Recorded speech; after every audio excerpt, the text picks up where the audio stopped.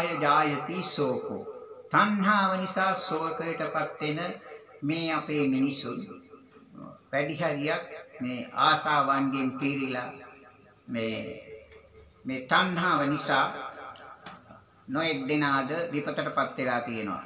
සමහර වෙලාවට දීපල බෙදා ගන්න බැරුව පැලින්නට තැන කොටාගෙන අද හිරගවල් වල දුක් විඳිනවා. අපි මේ ලෝකෙට එනකොට ගෙන ආපු දෙයක් නෑ. යනකොට ගෙනියන්නේ නෑ. ඒ නිසා අපි මේ තණ්හාවෙන් මිදලා ගියොත් අපටත් පුළුවන් නිවන් මාර්ගට යන. කවුරු හරි තව කොහේදී හරි මලොත් එහෙම කෙලින්ම බැනර ගහනවා නිවන් සැප ලැබේවා කියලා. කවදාවත් නිවන් යයිද? නෑ. නිවන් යන්නේ නැහැ තණ්හාවෙන්. මොකද තණ්හාවෙන් පිරීතිලා ගිහිල්ලා තින්නේ දැන්. සිදුවත් කුමාරයාත් බුදු වෙන්න ගියේ මේ සියලුම රාජ සත සම්පත් සේරම අත්හැර දාලා නිවන් මාර්ග සොයලා. ඉතින් ඒ නිසා දැන් මේ විරිඳුනි කියවෙන්නේ ඒ වගේ කතාවක් තමයි දැන් අහලා බලමු.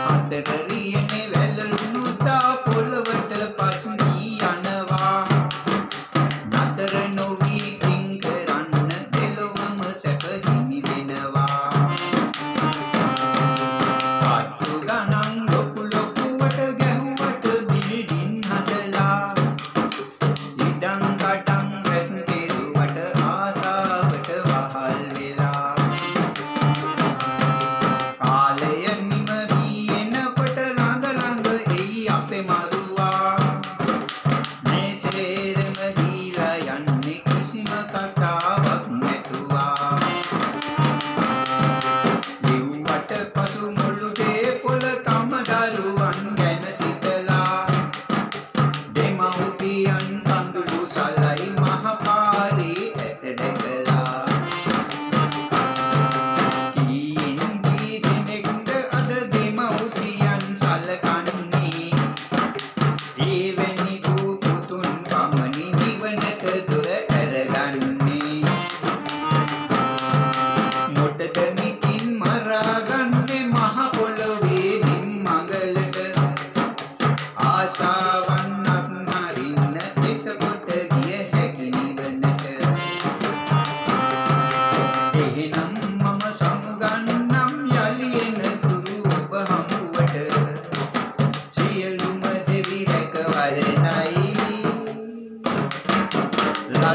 වැසියනි සියලු දෙනට